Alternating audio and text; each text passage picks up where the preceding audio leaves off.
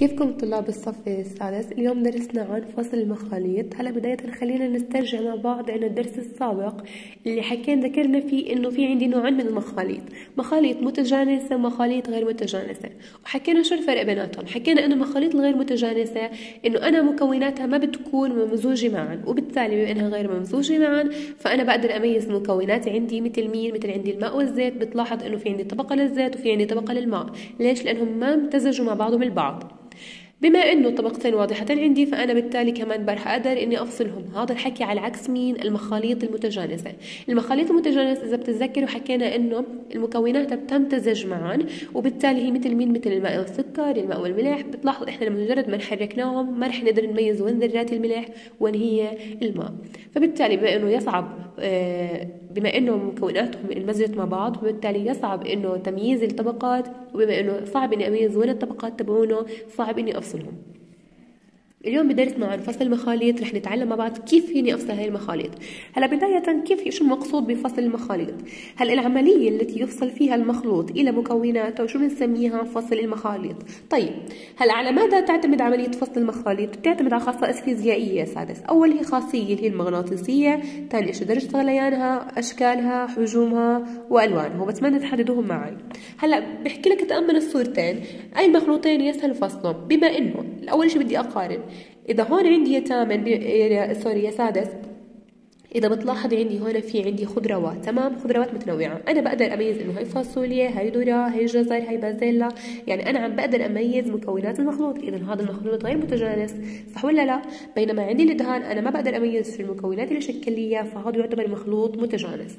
طيب انو أسهل إني أفصل المخلوط الغير متجانس يلي واضحة مكوناته وأشكاله مختلفة وألوانه مختلفة ولا إني أفصل الدهان يلي نفس اللون ونفس الشيء وما بقدر افصل له أكيد هو مين هو سادس اللي هو أكيد الخضروات. فبالتالي إيش الجواب؟ اللي هو خضروات متنوعة لأنها مخلوط غير متجانس هسه اليوم رح نتعلم مع نتعلم مع بعض إنه على طريقة فصل المخاليط غير متجانسة. هسا أول طريقة اللي هي الفصل بالمغناطيس ثاني إشي الفصل باليد وثالث إشي الفصل بالغربلة رابعا هو الفصل بالترجيح.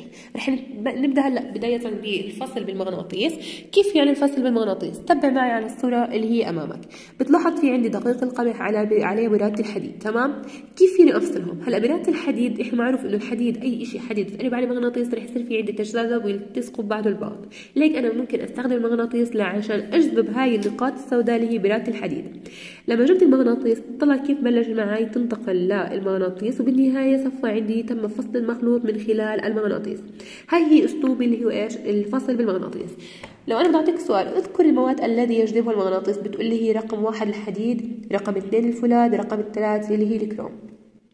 طيب أذكر أمثلة على طريقة الفصل بالمغناطيس. إيش إحنا أخذنا؟ أول مثال هو يستخدم المغناطيس لفصل برادة الحديد عن دقيق القمح. هي أول مثال. ثاني مثال إنه لفصل الحديد والفولاذ عن المواد الأخرى لإعادة تدويرها لاحظ معي هاي بنسميها إحنا عادة بالمنطقة الخردة أو منطقة فيها نفايات وفيها مواد أخرى غير النفايات. طب أنا كيف فيني أستفاد من الحديد والفولاذ لأن أنا الحديد مش بقدر أصهره وأعيد صناعته يعني بقدر أستفيد منه وأعيد تدويره. طيب كيف بحصل عليه؟ هلا بقول لك يا سامر يا سادس اني أنا بجيب هد... عند هاي المنطقة بجيب معي مغناطيس وبعرضه لإلهم. أي إشي من الفولاذ والحديد شو رح يصير عندي؟ رح يصعد ويلتصق بالمغناطيس. هيك أنا بكون حصلت عليهم بهذا الشكل.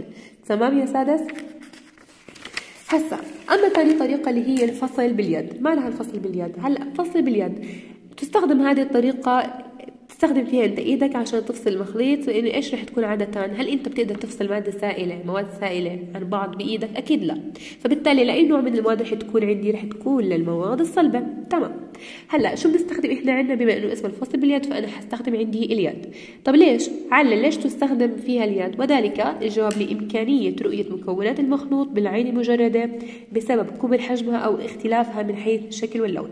يعني إذا بتلاحظ عندي هدول هدول عندي كلهم فواكه مجففه طب مش هدول أنا بقدر بسهولة أمسكها وأفصلها وأقيمها بإيدي؟ ليه؟ لأنها أول إشي حجمها منيح ثاني إشي لونها مختلف وشكلها كمان مختلف. وهي بالإضافة انها أهم شيء ماده صلبه أذكر مثال على طريقة الفصل باليد. عندنا فصل مكونات مخلوط المكسرات وأيضا الفواكه المجففة هي الفواكه المجففة وهي المكسرات.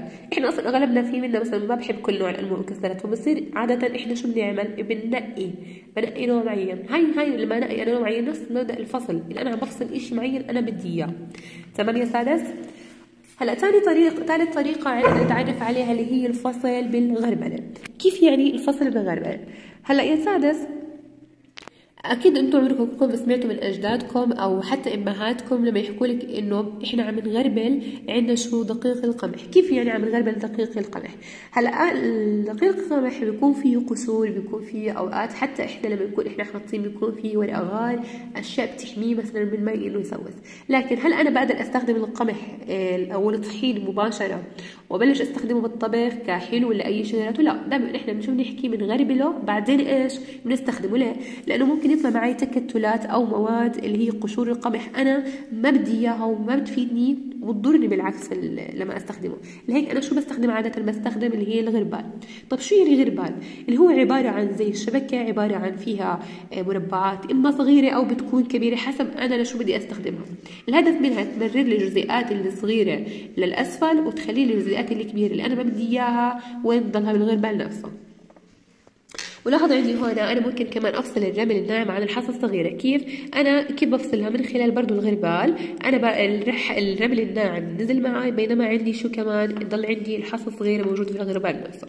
فبالتالي الفصل بالغربلة الغربال شو المقصود فيه؟ هو أداة مكونة من شبكة ذات ثقوب مختلفة في حجومها بحيث تختلف حجوم ثقوب شبكة الغربال اعتمادا على الاختلاف في حجم مكونات المخلوط يعني أنا بدي أفصل الطحين الطحين عادة بيكون أجزاء أصغر فبالتالي بحتاج غربال يكون عندنا مربعات تبعونه صغيرة بينما هون الرمل بتكون مثلا أكبر ونفس الشيء بحتاج مربعات تكون أكبر إذا الغربال هو أداة لعند وين؟ لعند المخلوط تمام يا سادس؟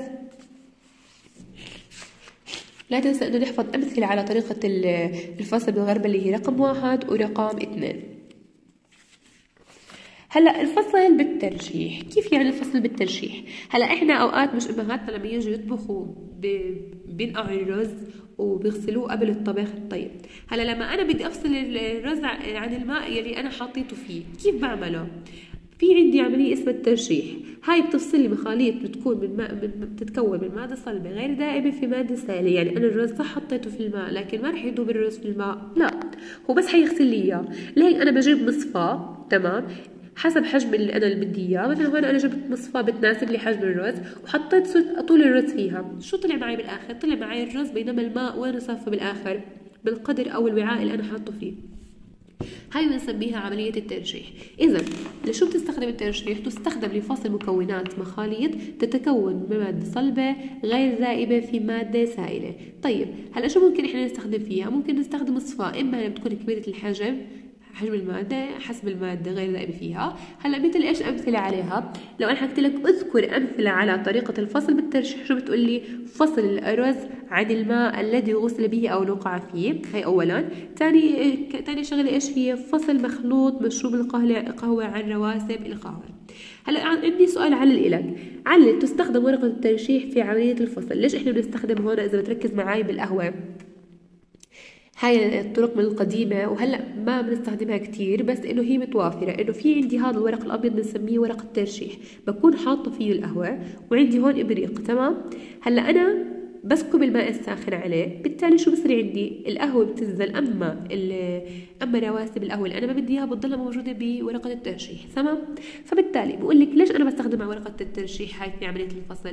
لأن ثقوبها صغيرة جدا إذا كان حجم المادة غير الذائبة صغيرا. يعني حتى لو حجم المادة اللي القهوة مثلا الذائب بتكون كتير صغيرة وما بدي إياه هاي ورقة الترشيح ثقوبها جدا جدا جدا صغيرة وبالتالي شو يا سادس؟ ما بتخليها تعبر. فبالتالي بس بنزل المشروب اللي أنا بدي إياه أما الثقوب الصغيرة ما بتنزل. هلأ المادة الصلبة التي تبقى على ورقة الترشيح مش بضل في عندي رواسب على ورقة الترشيح ما نزلت شو بنسميها؟ بنسميها ناتج الترشيح. تمام يا سادس.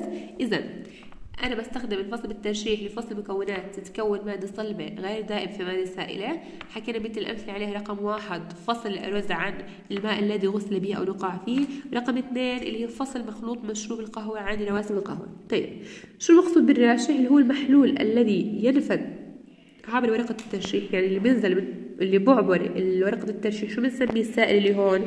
هاد بنسميه راجح أما اللي رواسب بتضلها شو بنسميها؟ ناتج الترشيح.